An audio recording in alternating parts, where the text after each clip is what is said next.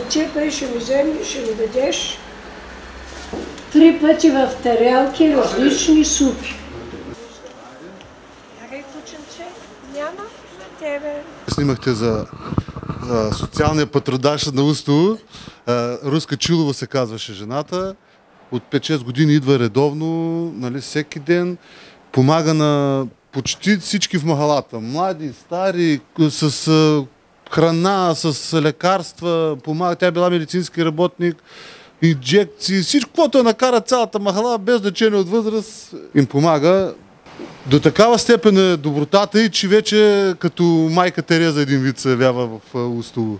Казват за вас, че сте смоленската майка Тереза. Как го приемате?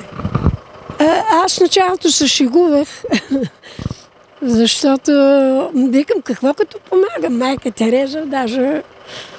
Но продължавам да, да помагам.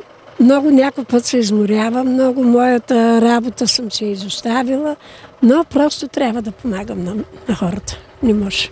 Възрастни хора, които са 75-85 годишни и всичко им помагам, колкото мога. Сега храната им нося, до личния лекар ходя, до аптеките ходя, плащам им сметките, пазарувам им, каквото искат, зеленчуци или нещо друго. И така цял ден си ходя. И аз всеки Божи ден ми е заед. Като излезна в 8.30 да дойда да видя какво има за ядене, после им казвам какво има за ядене по GSM и, и така цял ден. И сега продължавам. Някои от тях, а, нали, а, си готвят, опитват се да готвят бабите, но в повечето случаи пак си идвам тук. Не се ли страхувате от корона? Не. Аз съм медицинска сестра, цял живот съм била сред а, нали, така, и грипни епидемии. И в кожно отделение съм била. Имам чувството, че няма да ме храня. Пък каквото да е, каквото бъде, дано да ме не хваща.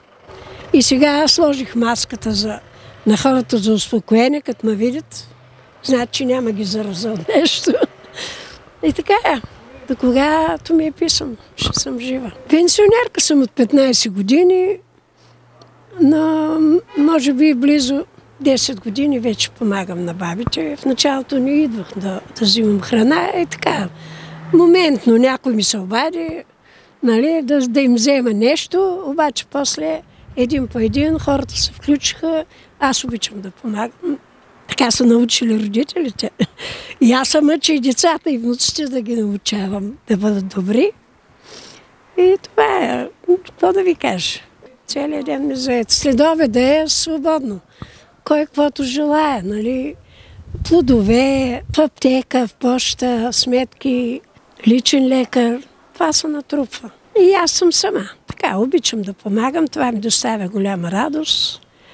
И имам чувството, че ще живея и така живея. Иначе съм станала вдовица на 27 години и съм си ги изгледала децата. Така, изучила съм ги. Бабите почти, като има постно, едат постното. Днеска съм взела домати с ориз.